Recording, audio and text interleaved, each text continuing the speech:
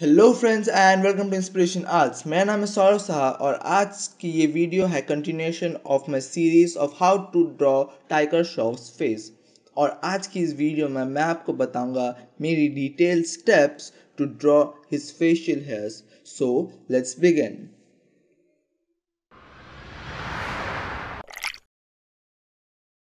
तो दोस्तों, पिछले वीडियो में मैंने आपको डिटेल स्टेप्स बताए थे कि कैसे हम टाइगर श्रॉफ के फेस के जो बेस लेयर्स को सेटअप करें और अच्छे से उसके फेस के प्लेन्स और कर्व्स को बनाएँ। तो हमारे पास पूरा बेस रेडी है। इसके ऊपर हमें बस उसके फेशियल हेयर्स को पुट ऑन करना है और अच्छे से उन्हें ड्रॉ करना है।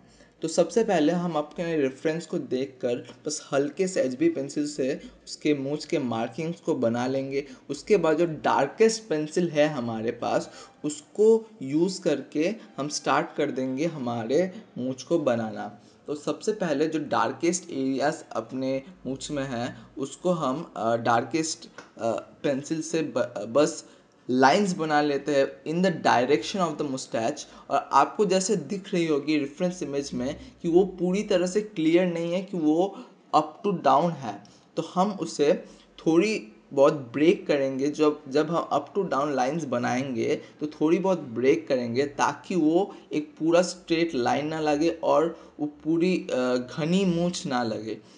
उसी तरह से हम जो डार्केस्ट एरियाज़ है, उसको डार्क पेंसिल से बना रहे हैं और जो लाइटेस्ट एरियाज़ है, उसको हम एच बी पेंसिल से बना रहे हैं। दोनों के कॉम्बिनेशन को यूज़ करके हम इंटरचेंज कर रहे हैं बार बार और रेफरेंस इमेज को अच्छे से देखकर जो एरियाज़ डार्क है, उन्हें डार्क बना रहे हैं और जो एरियाज़ लाइट है, उन्हें लाइट बना रहे हैं। और आप देख सकते हैं दोस्तों कि मैं साथ ही साथ अपने लिप्स पे भी थोड़ा बहुत काम कर रहा हूँ। थोड़े हो, थोड़े हैचिंग के बाद आप उसमें थोड़ा सा कॉटन विक कर लेके आप उसको थोड़ा सा समझ भी करें, क्योंकि पूरी तरह से रफ है भी नहीं रेफरेंस इमेज में हमें जैसी दिख रही है।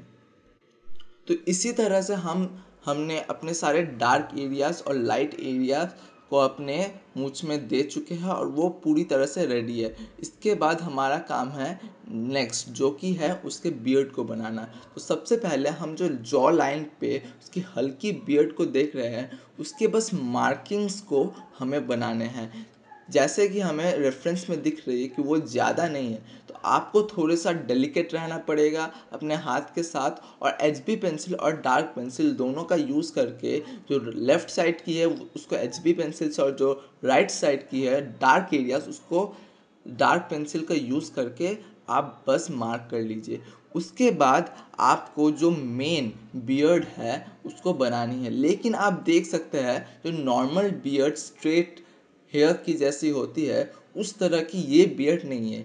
ये काफ़ी छोटी बियर्ड है और काफ़ी डॉटेड दिख रही है। तो हमें भी अपने जो डार्केस्ट पेंसिल है, उसका यूज़ करके हमें भी वो बियर्ड डॉटेड बनानी है।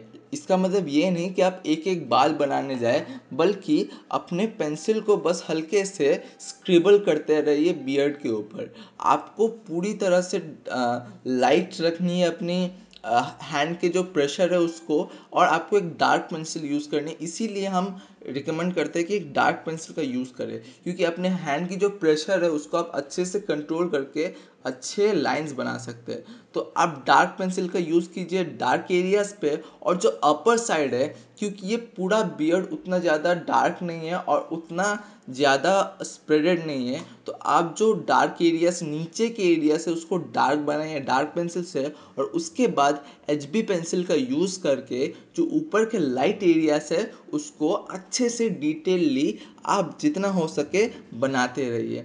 इसी तरह से जो माइन्यूट डिटेल्स है, उसको आप देते रहिए और फाइनली हमारा जो बियर्ड है, वो रेडी हो जाएगा अपने फेस पे। तो दोस्तों, हमने बियर्ड के कंप्लीट होने के बाद हमारा फेस काफ़ी रेडी दिख रहा है और इसके बाद हम रेडी है अपने नेक्स्ट स्टेप पे जाने के लिए, जो कि है हेयर तो नेक्स्ट वीडियो में मैं आपको यही बताऊँगा कि कैसे आप ड्रॉ कर सकते हैं टाइगर श्रॉफ के हेयर को। So stay tuned and subscribe to inspiration arts